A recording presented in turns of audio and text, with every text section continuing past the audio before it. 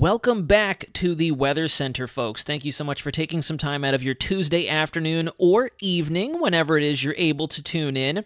Thank you so much for taking some time out of your Tuesday to join me here in the Weather Center for another tropical update. We've got some new up and comings both in the tropical Pacific and on the Atlantic side of things to cover today. So before we get started, please consider clicking subscribe if you're brand new to the channel. Let's tickle that algorithm just a little bit by giving the like button a little nudge if you could. I always need a little nudge to get this information front and center to you all to get YouTube to like these videos itself and push it out to your recommendations here on the YouTube platform.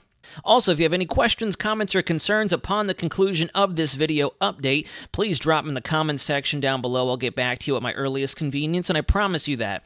With that being said, let's go ahead and rock into this. So this is National Hurricane Center's homepage. We're starting out in the Eastern Pacific because Invest 90E is still making headlines out there. I'll go ahead and get my head out of the way so you can take a look at the narrative down here. Satellite imagery shows showers and thunderstorms becoming better organized. However, disclaimer, I'll show you the satellite. It isn't looking too impressive. It was looking a lot healthier yesterday evening during our strugglesome live stream. It has since lost a little bit of its thunderstorm activity closest to that center of low pressure. However, you look at the formation chances, and we are maxed out 100% chance in the next two days with a 100% chance over the next seven days. So it is fairly likely we will have Tropical Depression number one in the East Pac. If not, Tropical Storm Alvin entering the fray very soon. Here's a look at the true color visible satellite shot, and you can see this is kind of harkening back to both the beginnings of Debby last hurricane season as well as Ernesto while it was still east of the Leeward Islands and the Greater Antilles before hooking back towards the north, headed for Bermuda as a hurricane. It is a very, very broad area of low pressure. It does look like there could potentially be even some dry air wrapping in around the northwest side into that center because if you look closely, yesterday when the satellite loop got started, it was definitely looking a lot more robust. You can see the overnight hours progressing through in that infrared shot. And then finally, when the true color returns with the return of the sunshine, there's your center at the very end of the loop looking a little exposed, a little worse for wear. But regardless, if you take a look at the track density, this thing is expected to stay on a west northwest path, eventually arcing back towards the north as a long wave trough begins to dig across the four corners, the desert southwest of the Rocky Mountain region, before exiting over the Great Plains, likely sparking more severe weather up there We'll talk about that in a future live stream, but this will likely run ashore somewhere between the Baja Peninsula up there, the Baja California Peninsula, or the extreme western shoreline of upper Mexico, and it will be weakening at that point. Thankfully, we have some cooler water temperatures up there. It is in a warm pocket right now. Surprisingly, it hasn't fully taken advantage of the anticyclone overhead, but that is good news for our folks up there. The less this thing can intensify, the better, especially as their hurricane season gets underway.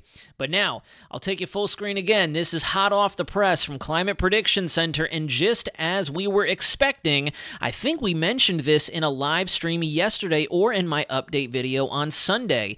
Not too much happening between the June 4th and June 10th time frame in our neck of the woods. You can see the East Pac bullseyed for those elevated chances that we see something try to develop in terms of tropical action.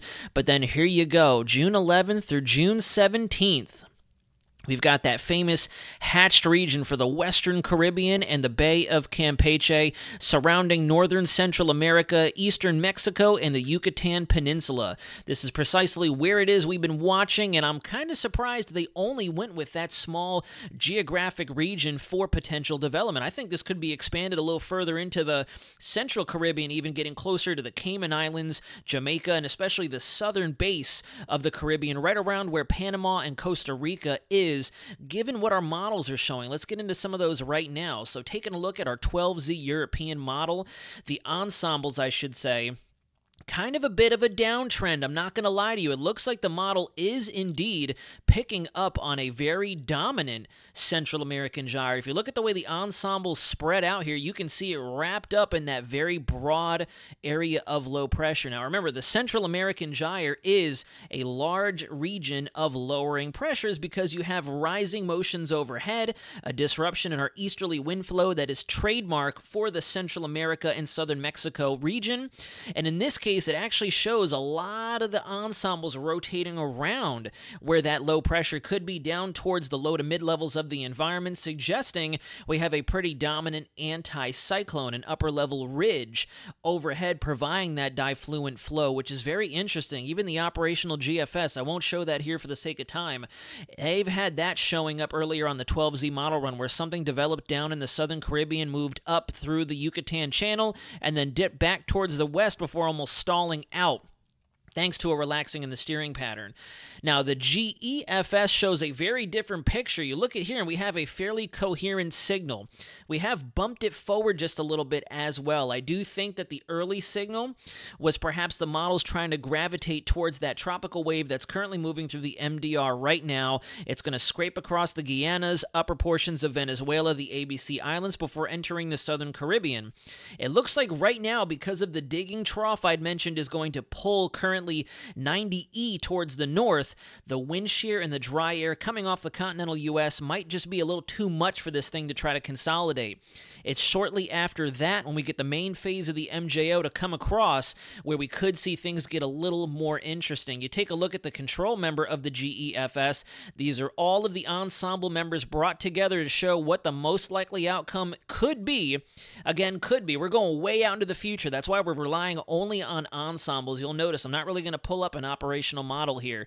You can see a broad gyre beginning to build up, lifting towards the north, tries to intensify in the eastern Gulf before you can see. Not going to say it out loud, but we have been talking about the eastern and central Gulf, the southeastern United States, possibly the deep south being an area we'll have to continue to monitor. The GFS and its associated ensembles are reflecting this. The European model is being very wishy washy. I'll show you why I think that is. First and foremost, here's a look at your divergent winds where the MJO is likely to establish itself. We've kind of moved the timestamp just a little bit out ahead. We're still within that date and time frame we'd been discussing several updates ago, June 4th to about June 15th, give or take. And if you look right here, 0Z, late in the evening, Sunday, June 8th into June 9th, Monday morning, you can see here we have a very, very dominant signal, a very robust MJO pulse, kind of borrowing energy from both areas, or I should say, sharing energies from both basins the Western Atlantic, Gulf Caribbean, and the Eastern Pacific. The GEFS, on the other hand, has that same reflection, but it is biased a bit further towards the east, which could potentially be why it is the GFS is showing formation in our side of the spectrum, whereas the European model wants the thing to kind of hug Central America and possibly crash back towards the west into the Bay of Campeche, a la Alberto and Chris from last hurricane season. This is the tricky nature of the gyre. We're going to just have to keep watching it at this point. This here is what I think is possibly going to dork up our pattern as well. We've had huge fluctuations in the Pacific North American oscillation. Remember, the positive phase would suggest dominant ridging out west. This would be trademark or symbolic of the monsoon setup that's currently occurring for the occurring for the Four Corners area out west. Their monsoon season has likely started to get underway, and a trough extending back over the east. You flip that upside down into a negative pattern, as you can see suggested for the first week of June, before we retrograde back up into potentially either a neutral, if not a weak positive phase. That would mean that area of ridging has now moved out towards the east, with troughing extending over the Rockies. The models have been extremely back and forth with this. You look at the GFS ensemble, and it actually shows an even stronger negative phase of the PNA beginning for us somewhere between June 1st and June 2nd before we start to balloon back up right around the 8th to the 9th. This is going to be pivotal if that Central American gyre vorticity signal, that area of spin, decides to lift up out of there and gets embedded within the MJO as it moves across, that could be the key as to whether or not this thing crashes and burns in Central America or arrives into Mexico as a rainmaker or tries to lift towards the north as something a bit more consolidated. Here's a look at the GEFS trends here. This is going to be your forecast trends. I know it's looping very quickly, but I want you to look at what happens over the central and eastern United States, the westernmost Atlantic. Notice that as we go forward in time, from about six model runs ago to now, we are slowly starting to trend towards that reinforcing omega block pattern with ridging jutting up through the central United States up towards the Great Lakes and a bit of a return to troughing right up against the East Coast. We're going to have to watch this. This is six model runs consecutively overlaid back to back in this GIF. If that trough kind of hugs the west coast of the Pacific shoreline out there, the Pac Northwest through Nevada and California here, that could allow our ridge to intensify in amplitude over the Great Plains, driving their severe weather risk up as that trough tries to come out off the front range of the Rockies. But then in turn, that also reinforces the fact that we could have lower pressures and troughing still in place over the East Coast. So we're going to have to watch that very closely. Last but certainly not least, you can see here looking at our ensembles, the MJO is going to come into that optimal phase for Atlantic favored activity, at least tropical rain shower and thunderstorm activity. We're not labeling a tropical cyclone this early, this prematurely. We still have a lot of things that can go wrong clearly, and our models are showing that.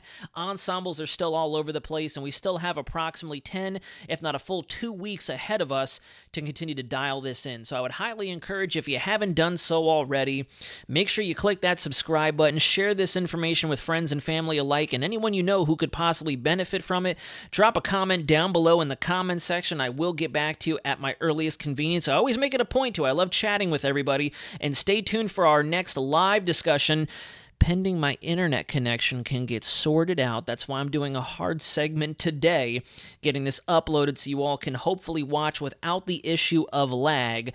But that's neither here nor there. Thank you all so much for your continued support. This will mark now the third upcoming hurricane season where we can all grab and come together and rock through it as a community. And I can't wait to see what it has in store for us in a positive manner because I know we're all going to stick together through whatever Mother Nature tries to hurl our way. Thank you so much for taking some time out of your day once again to join me here on the Weather Center. We'll see you again soon. But until next time, this is Weather Center Nazario signing out.